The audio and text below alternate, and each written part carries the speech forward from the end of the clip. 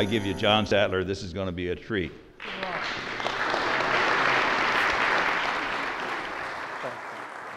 Thank you, David. Nice Well, what I'd like to do now is uh, these are different faces of our guest, of John. Uh, you need to know what shaped and informed him as a young man growing up outside Pittsburgh. He was a, a, a nationally ranked wrestler. Uh, his dream was to go to Penn State, but you ended up going to the academy, and indeed you went to the NCAA's three times. Yes, yeah. And, did. and it's a big part of your life, except you remember, like all wrestlers, you remember the match you lost, didn't you? It's a long list, but I remember that. I wish it was one or two names, but I'd be uh, disingenuous if I said that. But I learned something from every one of those thumpings, you know. Yeah. You know, what doesn't kill you makes you tougher. I am one tough son of a gun. Do you remember anything in particular as you think back to those wrestling days? I remember my senior year, of college or high school? you know, uh, of college. Uh, Yeah. The Eastern Championships were at the United States Naval Academy, and Navy and Penn State were lined up for the finals. And I had to beat the Penn State two time returning outstanding wrestler in the East for us to win the tournament. So here you are. He got my scholarship. Were they right or were Oh, So you think, uh, to use a biblical phrase, it was David and Goliath. we got out in the mat. I could not find the pebble. It was not there. So uh, slingshot, no pebble. You know, they, uh, uh, if you go through the Eastern Championships, at Penn State were they won it that year. So the uh, the learning of being beat at home in front of my home crowd, in, uh, and the other sad part about it was the individual who beat me when the national anthem was playing. I'll never forget this. We were all locked at attention. All the midshipmen were locked at attention, and uh, and he found it quite humorous. So now they were all going, wait till our guy gets you. I'm going, no, be quiet up there. No, yeah, don't- he's already tough. We don't want to make him mad and tough. But, uh, so he asked me, but another character builder there. And uh, 15 years later, I'm having dinner with my father one day, and we're sitting there, and I'm, in- I'm still, I'm in the Marines, obviously. I think I'm a lieutenant colonel. You know, right in the middle of dinner, he looks at me and goes, you really looked bad that day against uh, that Penn State wrestler. I go, I go, hey, Dad, I mean, Thanks, you're my Dad." dad. You're supposed to say the sun was in my eyes, bad call from the ref. No. So, you know, it was tough love, tough love, David. That's great. That's great. Well, you know, as I look at those different sort of faces Yeah. of you, I think the face you're most comfortable in is the lower right when, when you're, you're in your fatigues and you're out with the men and women. Uh, Yeah, I mean, I, I think same as in business. You know, it's it's one thing to be in the boardroom. It's another thing to be, you know, escorting VIPs around. But when the time, the true the true leaders, those who understand what it means to be selfless servant leaders, you have to get down as far and as low as you possibly can. The Navy has a great saying on a Navy ship. On the very back end of the ship, there's a thing called aft steering. And there's a couple sailors back there that if the steering goes, if the bridge gets knocked out, they grab a little like hose and they go, hey, wake up back there. you, you guys are now driving the ship. And you got Eddie, Mary, and Bob back there who, who have never thought they'd be called upon, but they grab it and they can, they can power the whole thing. And a, Navy, a great line in the Navy is, you will not own this ship until you have visited aft steering because it's all the way down to the bottom past the engine room in the back. I think it's a great it is a great analogy. So when you get to be a leader if you think it's the corporate dining room the parking spot the, uh, the first class tickets on the airlines uh, the truth be known those are all distractors. They detract away from you and being that selfless servant you know with your men and women uh, women leader and i've had some uh, pretty bad discussions at uh, at some businesses, one guy came up to me and said, I worked my butt off to get that parking spot. It was right in front of the building. I saw it when I came in. I said, It's a nice one. Got your name, it's got your name up there, and every day when every worker walks in, they look at it, and your car's not there. And, and they're riding around, and uh, they think, Wonder where he is. Or, you know, uh, well, I'm sure glad he has this spot. So we had a little bit of this on it. Three months later, I got an email from him. This is one of my success stories. And it had a picture of that parking spot, and it said, Employee of the Month, Nice. Martha Brown. And that's what, and he, and he, and he always said on the email, all it said on email, it said, got it. That's all he said, got it. But, uh, you, know, but Yeah. you know, entitlement, you know, I, I mean, if you start to feel entitled, you need to have a friend that has a Louisville slugger and willing to use it. You know, whack you once and get you back online. But we're getting off. off No, that's right. So let, us tell you what, why don't we put that away and we could just chat some. What we're going to do is we're going to have a conversation, join in, raise your hand at any point, uh, and at a certain point I'll just open it up to Q&A and we'll, we'll go from there. And then um, we'll, we'll take it there. But before I do, you know, we, we, we want to thank you for your service, uh, and you're still serving in many ways. But could I ask anyone who's, uh, who's uh, first any Marines here, stand up? Hoorah! All right, All first right. hoorah. And I understand.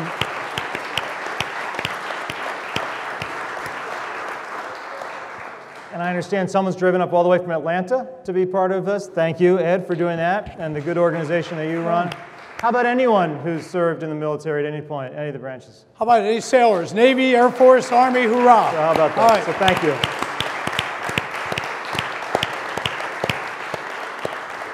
And Coast Guard, Coast Guard. I want to leave the Coast. That's why I knew it. Semper Paratus.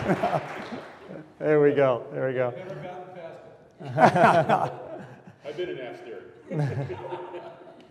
So, John, you know, uh, you like sports. Uh, I suppose a few people in this room do. And, and uh, when I grew up uh, in our household, uh, my father was in the Navy for a short period of time. He was a CB uh, as an engineer. Uh, and my uncle, uh, my mother's brother, was a career Army man, tank commander, uh, served two Purple Hearts, retired as lieutenant colonel Wow. uh, after a long, distinguished career. But the annual Army Navy football game became a problem. Who do you root for? Which side? Uh, I've noticed this year the Navy, the Navy lads are doing pretty well, aren't they? T- Uh, Fill us in. Seven and two right now, uh, and we were talking, and uh, they beat Notre Dame this year. They've had the last three games they were underdogs, lost their starting quarterback and lost their team captain, middle linebacker. It looked like it was going to be a, a cataclysmic season, but we have the opportunity to take all of our team captains at Navy. We bring them all together and take them to Gettysburg for an offsite. Wait, say that again. You take your team captains. How many teams? captains, 23 uh, teams? 33. 33 varsity sports, second most in the nation, men's and women's, right there together. And then we also bring the leaders inside the brigade. They, they run Bancroft Hall. If you were the university president, you have 30 fraternities called companies. Each one has freshmen, sophomores, juniors, and seniors, totaling about 150.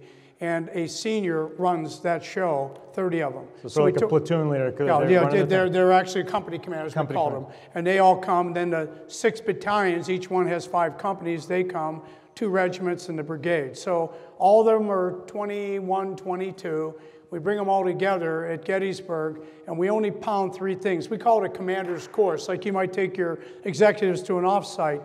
And what we do is we tell them three things. You must define what is your uncompromising standard, i.e., what does good look like? If I come to practice or I come to, into my company every day, I don't know what good looks like. I'll make good up in my own mind. Some will make it real high, and some we call them bottom dwelling minimalists. The ones who just want to be there to say they graduated from, they're not hungry to get out and lead, motivate, and inspire. They'll set a different set of standards. But if I, if I don't tell you what good looks like, how do I hold you accountable to the standard? Can't do it. So they have to define that. They, that's uncomfortable for them. They don't like that. They just want to play hard, lead by example. You know, that's I'll play hard, and by me playing hard, the team will play hard and we'll win all our games. But it, it's more than that when you get into the character. So define the standard. The next thing, even harder for them, we make them define loyalty. What is loyalty in your organization? Loyalty to my workmates, uh, loyal, to the company, or is it loyalty to the core values and the, uh, what the company stands for? So you need to have that kind of a discussion. So they define peer loyalty, my teammate or my, my company mate, and define, in our case, loyalty all the way to the Constitution. Because it's a higher order of loyalty. you Higher, have. absolutely so, higher. So if I work for any of the fine companies in this nation, at a certain point it stops with, with the various stakeholders and shareholders involved, whereas you're really talking about a, a greater good, a common oh. good, a, a noble thing, the Constitution. Absolutely, but I think you can lowball your loyalty on the uh, on that axis to be my bonus. You can low, lower it to be my quota if I'm in sales, or, or if I'm in engineering. I just got to get this done, and pretty soon you start, start to forget about the people, the men and the women that make all that happen. So once they define the loyal, the last thing we do is we make them write at age 20, 21, 22 an action plan on how are they going to take their definition of what good is, looks like, defining loyalty, have an action plan to get buy-in from all their co, because they may be appointed the company commander with 145 working, but they're all midshipmen. So how, and they call it peer leadership, even though I am, I have been appointed higher than my peers, It's just like when you go to be a, you know, somewhere in a company, everybody's there, and all of a sudden you're promoted. How do you motivate, lead, inspire, and hold those accountable who you were just sitting at the table with last year before you got that promotion? Companies counting on you to do that, and, and your peers, if you do it right, will respect you and admire and revere you to get that right. So the reason I bring that up is because if you watch a Navy football game, least penalized team in the nation, they don't make mistakes. If you watch every player on every play, they, they, they tenaciously pursue their assignment. The hmm. play's over, and there's some back defensive back still being dogged by some running back downfield, but he doesn't, doesn't have a rearview mirror. As far as he's concerned, every play is a touchdown. It completes and his mission. It, it, it- absolutely the mission. I know how I contribute to something bigger than myself called the team, called your business, called the academy. And my, what I do reflects on that. So So how about all the hot dogging? Like, you know, the sports are exuberant. You've, you've had a brilliant catch in the end zone. You know, there's a little bit of flamboyance in the NFL, one might say, and for, for that matter, anywhere in, the, in college sports, too. On all the teams, not I mean, the, the men's, women's swimming, lacrosse, men's, women, basketball, it is not the individual. We have a saying that there's men and women who want to be on the cover of Sports Illustrated. I want my picture on the cover of Sports Illustrated. What we want are men and women who want their team on the cover of Sports Illustrated. We want to be national champions. Now, I have to play my butt off and bring my best talent, my A game every day, so I can contribute to something bigger than myself. So they just interviewed the coach, and he, he actually referred to the, uh, the book Gates of Fire, written by Steven Pressfield, when the Spartans in Thermopylae, and how that uh, King Leonidas built a 300 man force which was 100% dedicated to the men and women on, in this case, men, men and women on their right and left. And the phalanx, the shields, didn't protect you. They all cocked to one side. Interesting. So if I panicked and scared and I moved my shield, I created a salient. So the, the team, the loyalty, the dedication to something bigger than yourself is absolutely huge. And, and it just, I just sent a, a note out to the two team captains because one, the one who, who had a season ending injury, uh, you know, I told him, you got to find a way to still lead. You know, when you're on the battlefield and you're wounded, you may not be able to go mano mano, but you can do other things to inspire your organization. And this past weekend, I looked out and he had a little scooter for his leg, and he went out for the coin toss. And he came back on the sidelines, and, and one of the other players went to the coach and said, Coach, I want Danny Gonzalez's number. I want to wear his number in the game against Houston. So here you get in the stands and you look at, whoa, Gonzalez, is he back? No.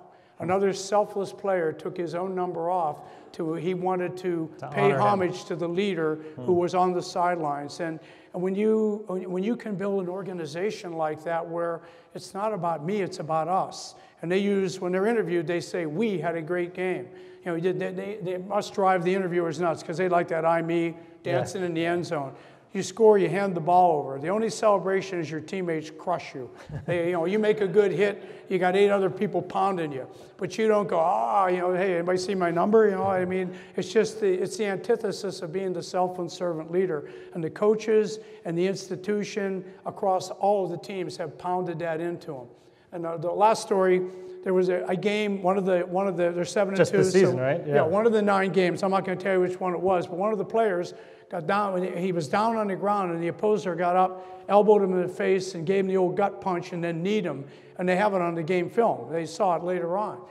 The individual got up, looked at him, and walked back to the huddle hmm. because Navy can't afford a 15-yard penalty. 15 yards, we can't dig out of it. We have to score every time we have the ball. Same thing in the pool when you're on a relay team. But the coach said the best play of the game is the one no one saw. This is the, the head football coach, Coach Ken Niumatalolo. The courage, the commitment, and the, and the self discipline to not take the penalty because he knew I'll, I'll get even with you later on on a good clean hit, but right now I'm not giving you 15 yards. Hmm. And when you hear that, you go, wow. whew, pretty, uh, pretty special. But that's what you want. Your, your, your women and your men who are leading the Navy Marine Corps team, West Point, Air Force, wherever it is, if they're out there representing you on the field, a lot of judgment comes up, and they got to make the call for the right reasons, not for personal reasons. So, So how does that, you know, think of the, how do you in the, in the, in the Navy and in the Corps, how, how do you get people who are, they're, they're competitors, right? They, they, they, they wouldn't have gotten there if it hadn't been for individual excellence. So how do you take a bunch of individual high testosterone, high performers, males and females, and get them to become a team and to subjugate their own desire to be the star? Yeah, it- It's the same as in any industry. You think I get good people, and by osmosis, they'll grow into be, when I'm ready to make them managers, they'll know what they're supposed to do. But the truth be known, they're probably, when they leave your office, you go, I'm gonna, you're gonna be promoted to X, they probably have a bag when they get back to their office breathing in it because, my God, I, I don't want to fail. I want to do well. And I did well where I was, but that didn't necessarily prepare me to, to go to the next level. So when we bring in about 1,100 a year, there's probably seven, seven individuals qualified for every one that gets in to go before the admissions department. Uh, the, the, you know, the college board scores, the athleticism, everything's just off the page. It's, uh, it's absolutely phenomenal. But even with that, a lot of them come in for the wrong reasons. Sometimes it's college. I, have, I came in for that. I had eight brothers and sisters. I came because my dad said, I have two sisters, your two sisters are in college, son. You could really help the family out. and so, wow, there's a good reason to go to the Naval Academy. But, you know, so I, don't, you know, I know why I came. And so you're the I- first in your family, right? I was, uh, fir- well, I was the only one who, who went in the military of the nine kids. But uh, I only tell you that because what motivates you to come in shouldn't motivate you to stay there. You, you need to. So we have at the academy three credit course when you're a freshman. It's probably the only institution. I mean, maybe Coast Guard Academy, West Point, Air Force, et cetera. Three credit mandatory leadership course your, soph- your freshman, sophomore, and junior year. The great philosopher is what makes me tick. How do I build teams? How do I employ teams? Then how, how do I take that team and do great things with it? And then your senior year, we bring graduates in. Uh, back to the point we were talking about. We bring a graduate in for each table, 50 at a time. They run 27 each semester where they cut class. Only time you're allowed to cut class at Navy, where legally, legally. But uh, then, then they have a graduate sit at the table, and the graduate facilitates a full day of real world leadership in the operational forces to be on a ship, in a squadron, on a submarine, or on the ground. So, I mean, Admiral Redd, and and I'll stop because I know you got other things you want to cover, but Admiral Scott. By the way, I don't interview John. I just sort of like I just follow the, you know, the. But he has that Louisville slugger, I saw it. So I'll do Admiral, my Jerry Springer. Watch out. I think the Naval Academy, they just came out and rated all the colleges. Is It it was uh, like number one for the uh, highest percentage of graduates, 89 with a STEM, science, technology, and engineering and math, where over 50% of the grads were in STEM. So they are, of course, the dean's really proud of these statistics, as you should be. Admiral Scott Redd graduated in 66, a dynamite, dynamite sailor, went on to be a three-star, stood up the counterterrorism center after 9-11. Just an unbelievable quality uh, individual. So we asked him what would be three things you'd tell these young college you know, men and women coming in. He said, first of all, I tell them that your calling is to be a warrior. I don't know why you came here, but you're staying here because you're going to be a warrior. You're going to, you're going to lead men and women possibly into harm's way and win the nation's battles when called upon. It's the reason why you're here. And she used the word, if I can interrupt, the, the word calling. I mean, that's a profoundly sort of theological term, the vocation of vocatio. That this is not something like I want to, it's my dream, it's my plan. There, when, the, when someone is called in the biblical narrative, it's often to something that's difficult, painful, and we may not really want to do. We may not really want to do it. Well, and, and, and you all have tough days wherever you are. We know that. But if you have a calling, you know, you don't whine, moan. Yeah, you know, step up Yeah, somehow. you step up and uh, you worry about yourself later because you're, that's, that's selfless. It's called service. You know, you're serving, and the only kind that really works is selfless service, all else before self. So your calling's to be a warrior. Second thing he said is that your job will be to be a leader. I mean, you, you may have a physics major, you know, aerospace engineering. We have some of the smartest people in the world going to be astronauts. But your, call, you know, your, your number one responsibility when you walk out the door is to be a, a leader. And, and the third one is your credentials uh, aren't your diploma. Your credentials are your character. Your character. What is in your wheelhouse of character when you walk out? I mean, so you think about that. And the beauty of it is, who, can, who controls your character? You do. so that one third of which you, your character comes in. If you have to go, look where I went to school, look where I got my doctorate, my PhD, you know, my master's, or whatever, then, then you're looking in your rearview mirror. And Admiral Redd would say, through the windshield, my friend, looking through the windshield uh, to, to lead, motivate, and inspire people to, to do things. I mean, leadership's easy when we're all having ice cream, cake, and candy. It gets really hard when the onerous things have to be accomplished. So, mm-hmm. true leaders can get men and women to do things either they don't think they can do, a lack of self confidence, or they think they don't want to do.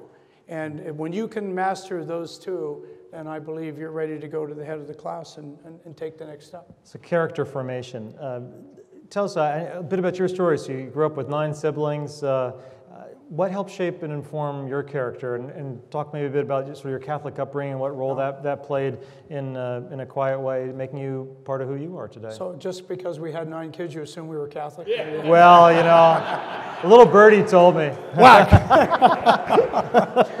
so, we went, a strong Catholic family. Uh, really? Oh. Did you get? Wow! How about that? Yeah. I still remember my senior year in high school. I was a. I was you could have been Mormon too, by the way. Why we play stereotypes here. So part of my family's Mormon. I'm allowed to say that. I was I was president of the Altar Boys Society my senior year. Uh, you know, I was kind of like Richie Cunningham. I diverted later on in my life. So, but uh, but I was sort of that that kind of guy. That's just the way we grew up. Strong family values. During Lent, we went to Mass. All of us got up and went to church every morning.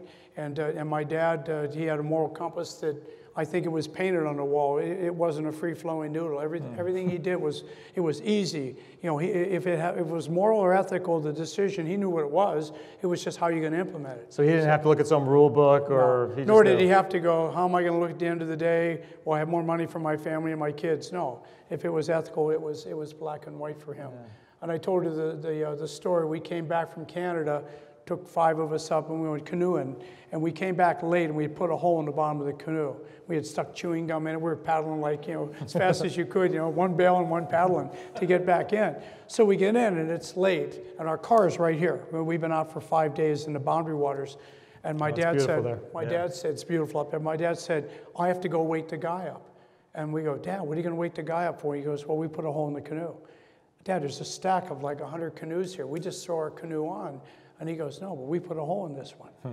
And I still remember, Dad, I mean, it's like midnight. You? So he knocks on the door, and the guy comes to the door and looks out, and he goes, Wow, well, somebody hurt somebody? You go, No, everything's fine, but I put a hole, in, we put a hole in our canoe, he said. And the guy went, What? And he, my dad said, We put a hole in the canoe. We hit a rock on a, you know, going down through some rapids, and it's that one right there, and I need to pay, pay for the canoe to have it fixed. The guy said, in all my time of working here, no one has ever, ever told me they put a hole in a canoe. And we have holes in canoes all the time. He said, let me shake your hand, now let me go back to bed. That's what he did. So, but my brother, I mean, but, but it's those little things in life. So that's what sort of shaped me. Yeah. Strong, strong moral and ethical background. My dad, we, we volunteered for everything, all the kids. Some of the church needed to be done. It wasn't, isn't it? isn't it the Kelly's turn or the O'Brien's turn? No, it was doesn't matter who did it last time. We're going to be in. So yeah. that selfless servantness was in my DNA. I just I just didn't know it. Yeah. So. You know the, the Bible's full of uh, warriors, right? And and so, is there any warrior that just happens to be a hero figure for you that you, you look back and go, wow? Oh, you mean warriors on the? Well, you think of you know the King David. A lot of the Old Testament, there's oh, battles yeah, yeah. and fighting going on. Uh, well, I like David and Goliath because I was always a small guy. yeah, yeah, yes, sir. We got one in the back there. William.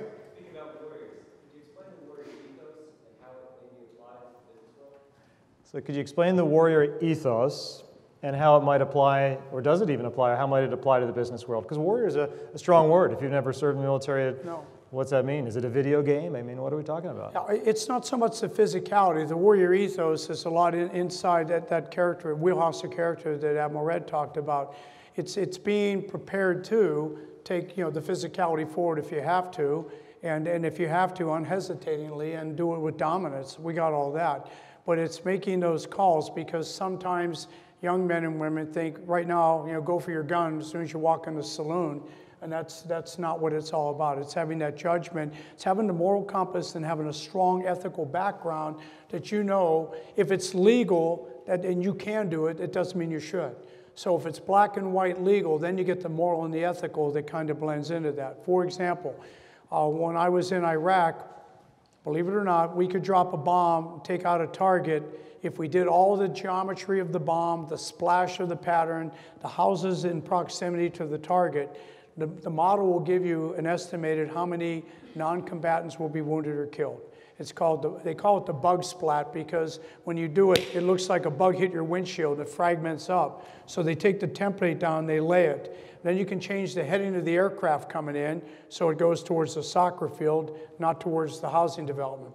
And if it's a business, uh, it's in an industrial area, you hit the target at night when nobody's working. You know, when we were talking the other day on the phone, you, you just in passing mentioned uh, and I may have the number wrong, but that uh, last year 20 commanders were relieved of their, their, their post for various infractions, uh, uh, a bit of an ethical nature. And you just said it just casually and you went on, that wasn't the point of what you're saying. I said, wait, stop. In the corporate world, how often when someone is dismissed for an ethical lapse or an ethical malfeasance, do, do we talk, not that you have to name names, but it sort of gets swept under the, car, the, the carpet. You sign the non-disclosure agreement and suddenly so-and-so is gone, but you never really know what happened. But the fact that you, you would talk about that, that some men and women who you probably held in high esteem slipped up at some point, uh, maybe, or maybe they were perennially toxic and it took a while to be caught. Talk a bit about that.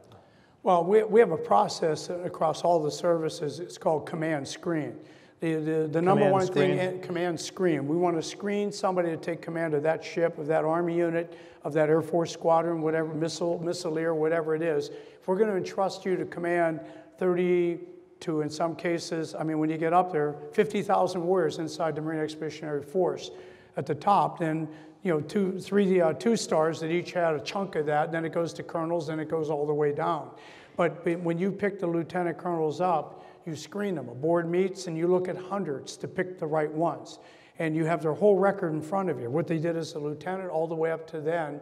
And you make a judgment call as if your son or daughter was going to be in that unit. That's the best I can say. Fist fights in the room, arguing over the last couple of folks because mine, you know, I, I think, you know, you're wrong, et cetera. But when the end of the day, everybody feels good about the process. But even with that amount of structure into it, we, uh, not in the Marine Corps, but across all the services, there were about 20 commanders relieved for some things like a lot of it has to do with uh, you start to become entitled you start to feel like you don't need your staff's advice anymore and then you become toxic meaning Well, that never happens in the corporate world. well, I'm sure it doesn't. but, but the difference in the, in the corporate world is, you know, I can be toxic, but I can also be a playground bully because I control your bonus, I control your promotion, I control your livelihood. You could say the same thing about the military if you came up and confronted me uh, and I, I could, I write your evaluation.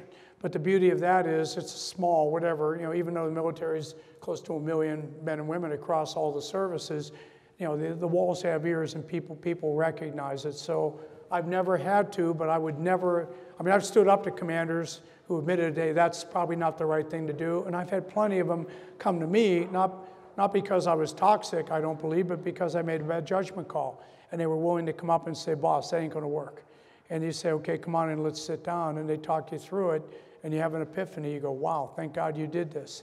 Especially in combat where somebody might, you know, some life limit eyesight's on the line.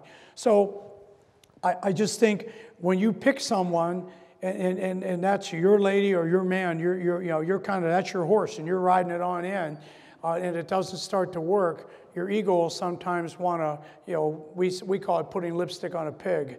At the end of the day, it's still a pig, but it's got big red lips on it. And you go, how do you, you know, everybody else goes, still a pig, but you're trying to fool them. When you get into that situation, you have an ethical and moral responsibility to the organization to try to make it right. I'm not saying shoot them on right off right off the bat, but eventually you're all being watched. I'm being watched to make the right ethical call, and sometimes that's removing someone who was my horse, and that's oh, that's hard to do. Very very hard to do. You know, when you see them, you look at them, you see their family, their kids, the weddings, the college coming up, but it's just not working. But you also have to look beyond that at everyone who's suffering because you haven't made that call. So it's, it's hard to do, but if you can't go knee to knee, face to face, and tell me what I'm doing wrong, this is what good looks like, and you're not there, I'm going to give you a little bit more chance to get there, and I'm going to help you get there. But if it's just not going to work, you can't chase that forever. Yeah. So. What are some of the things, if you look at ISIS and what's going on in Mosul right now, the, the men and women who are trying to, to retake that city and the human shields that are being used, how does that square with uh, a United States understanding of um, uh, ethics of combat, let's say? Well, if you go back to 2004 and then 2000 in Fallujah and then 2006 in, in Ramadi and some of the other big cities that where we were doing the fighting alongside of the Iraqis, we were, we were on the vanguard. They were in the middle, uh, right next to us on the flanks. Uh, so they were still in the combat, but we had, our, men and women are so un, unbelievably well trained uh, that I, I, there's just no one can hold a candle to them. So I am not talking down to the Iraqi forces. They came up to this level, but we did a lot of the, of the frontline fighting. Uh, and then when they did fight, we had 15 of our warriors embedded with each, each one of them. So they saw a lot of combat, but they, they had the backbone and the moral compass was, in some cases, a soldier or a Marine or a sailor or an airman who they would look at and they just give them one of these, no, this isn't the right thing to do, let's keep moving. And, and, and, they, and they would do it. So they're going to, they're, uh, I think the beauty of it now is it's been tough on them. They're, I think they'll, they're probably pretty close to taking Mosul. Syria is another story right now, but ISIS or ISIL, it's either you know, the Islamic State uh, of Iraq and Syria or the Islamic, Islamic State of Iraq and the Levant, which is the Western Med. Uh, the, the Levant was their dream. They wanted the great caliphate to expand, so they threw the L in there. But they're nowhere clear, close to being taking the Levant. It's mainly Syria and Iraq right now, to be totally candid. Uh, they'll lose Mosul. It's going to happen. They're overextended. They can't hold ground. They don't have the logistics to make it happen. And eventually, that'll erode and they'll break down. And, and those who can get out will, and some will, as they did in the, and when we fought them in Fallujah. They, they became fanatics. They just wanted to die for the cause. And you know, our young men and women gave them the opportunity to surrender once. And mm-hmm. if they wouldn't surrender, then they honored that wish. They died for their cause. Mm-hmm. And it, it was not pretty, but it, it was done.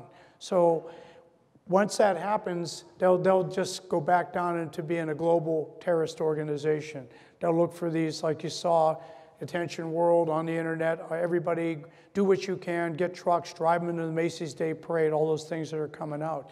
Those are just desperate acts to keep, keep the organization alive. But the ultimate dream to create the caliphate, the Islamic State, which they eventually saw, it's the whole world. It's not what all Muslims believe in, but it is ISIS under the banner of. That, uh, that we're going to bring back the caliph or bring the caliphate forward. It's going to start in Iraq and, and morph on out. Yeah. It's, it's not going to happen. Yeah. But they are still. I mean, you, you, if you ever went online and read some of the websites, some of the things, it's, it's just intimidation and, and it's, uh, it's brutality. And it's, it's organizations and, and conquering people through fear and holding them under your thumb. No one wants to live that way, whether whether you're in Iraq, Afghanistan, or, or you know, Libya, on Western Africa with Boko Haram. Those are just all nasty, mean thugs, and they need to either be captured or killed. That's the bottom line, and that's happening. Yeah, yeah. I'm going to open up to questions in a, in a minute, but uh, uh, let me ask you one more as, as people begin to think of what they may, may want to ask you. And that's you've spoken in the past about the difference between moral courage and physical courage. Uh, Talk about that in a military context as a warrior, and then can you transpose that to the marketplace, to the boardroom, to the, the sales floor, whatever? Sure. Sometimes the physical courage, we give awards for, you know, uh, seven brands of, uh, of valor, starting with, in our case, it's a Navy achievement with a V for valor. Then it goes to a Navy commendation, a little bit more valor, a little bit subjective in there. Then it goes to the Bronze Star with a V, Silver Star, Navy Cross, Medal of Honor. So when you hear all this stuff on, on, the, uh, on the news about, well, we should have had more medals of honor, well, when you start, you know, at the beginning of the battles, and I was in on the front side, you sort of stratify that because you don't want to change your standard where, oh, you're wearing a, who gave you your silver star? Oh, you got it from them or from him well, I served under this, well, that would have been a Bronze Star. You don't want that to happen. So it isn't like we're, we were stingy with valor because it was, you know, it came out of my paycheck or something. It was just that we, we thought that was the, uh, the absolute right thing to do. So when you reward something, as in business, you know, you, you get what you inspect or what you reward. Even if it's a handshake, a pat on the head, if I like that, I'm going to work hard in, in that environment. So the valor piece comes easy. Uh, when you're there and something happens, it's hard. And, and when you watch and read some of those citations, you go, oh my God, where do we get men and women like this? Where do we get people who would completely put themselves uh, off to the side and dedicate themselves, in some cases, to a warrior they don't even know their name? They just know it's a fellow warrior in trouble and I'm going. And uh, so the physical courage, uh, we, we, we reward it, we, we talk about it, and we sort of prepare yourself if my time comes, will I do the right thing? But the moral courage is even harder. That's when you have to stand tall, maybe go against the lynch mob to be the only one who stands up, or the moral courage to bring someone in and tell them they're not getting the job done, and I'm going to have to move you because everyone else is suffering.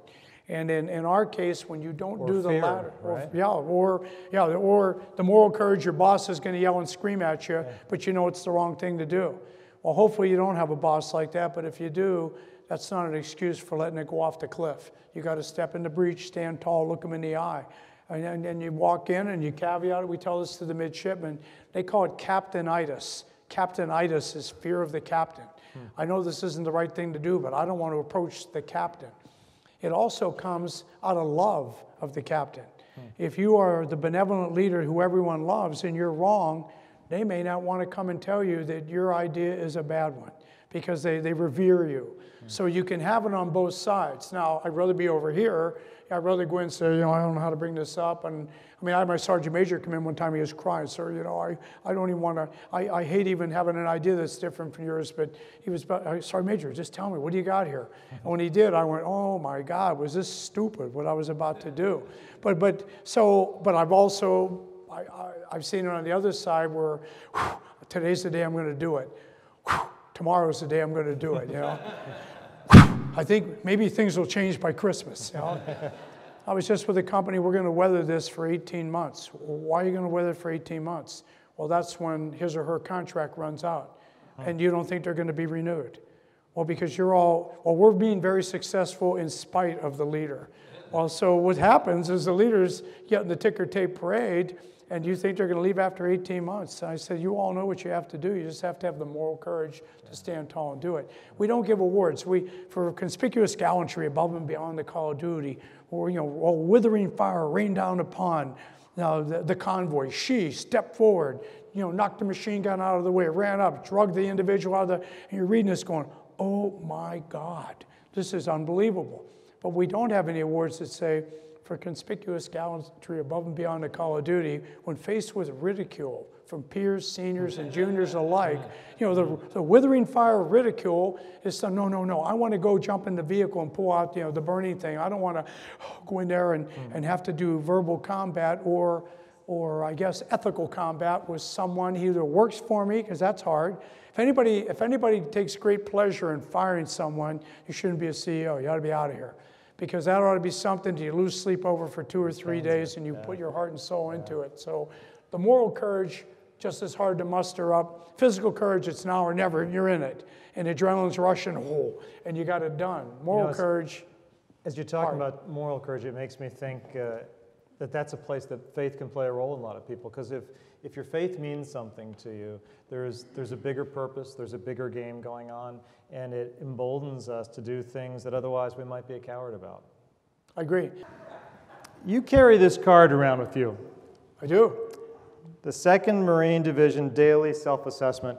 Would you read this off, riff on it briefly, and this will be our closing benediction? Okay, well, first of all, You created, you created this. This is, this is your thing. 17,000 warriors in the division, and uh, we've tried to figure out how to, you know, if you have core values in your company, they're on your on your webpage. You know, ours are honor, courage, commitment for the Navy and the Marine Corps.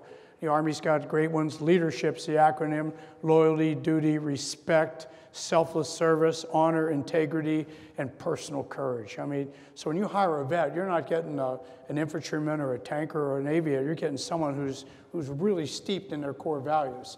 So uh, Sergeant Major and I came up with this. We said, okay, if we can't be with everybody every day, and they had this card, what we want them, uh, what would be the one thing we'd want to drive in, like your national security policy? One side says accountability, and it says I'm accountable for my Marines and sailors, accountable for my equipment, accountable for my actions, and accountable for my lack of action. That's hmm. the one that kills hmm. any organization. Hmm. Oh boy, somebody ought to do something about that. Somebody ought to stop him. She's going to get the whole place in trouble. I can't believe he's getting away with that. People who say that, you know, where's your, where's your legs? Get in the game. On the back of the card, we asked them to do three things on the way home every day. Ask yourself three questions. The first one was, Who did I teach today? What did I teach them? The second one is, What did I learn today? And who did I learn it from? And the last one is, Who did I make smile? Who did I put? Who did I make smile today? Because any organization, especially in the military, when it's tough, and you can make people smile by a little humor, or you can make people smile by by accomplishment. You know, this was so hard. No one expected us to get this done. No one thought that we could club this out of the park the way you all did. I just want to tell you right now, you have the right to strut today because you you crushed it. You got that? and they all go, oh, oh. you know, and you get you get the you know the peacock. You know, you get the peacock. All right, we're all done peacocking. Now we're going to be humble again. Out the out the door you go. but you got to figure out a way to you know to get that juice on uh, on that side. So. I said, I, I got a handful of these up here. I didn't, normally uh, every midshipman gets this as a freshman. This is one of the handouts. And they get the Spartan code. That's what they get. And they keep it for the whole four years. And we're starting to see the selfless servant and we're starting to see accountability. And, the- and the uh, last one I will say is the personification of, of this was a young Marine 2004 graduate from Doylestown, Pennsylvania. His motto, think of this motto. His motto was, if not me, then who? And if not now, then when? That was his motto. So, if not me, then who? How would you like to walk into an organization and then, and uh, what's your, uh, this will, uh, our ethos is built on one saying, if not me, then who? I need a volunteer, and you got 25 people. To do what? to do what? You know, some organizations, I need a volunteer, and you see nine people tying their shoe.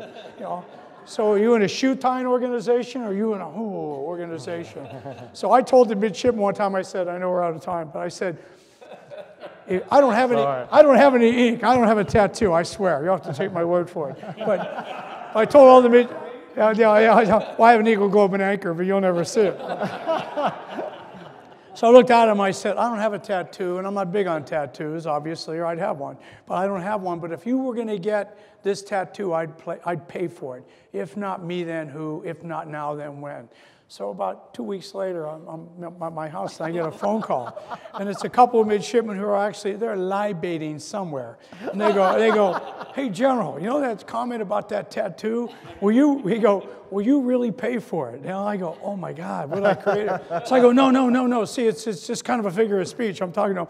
I said, if you get the tattoo, it'll fade and it'll get old. But if you live that, if you live it every day, that's the kind of tattoo you want. You want to live it. You got that? And it's real quiet on the other side. And they go, I guess that means you won't pay for it. so anyway, if not me, then who? If not now, then when? All right, then. All right. So, how about a huge word? Thank you. Thank you very much. Thanks a lot. Appreciate it.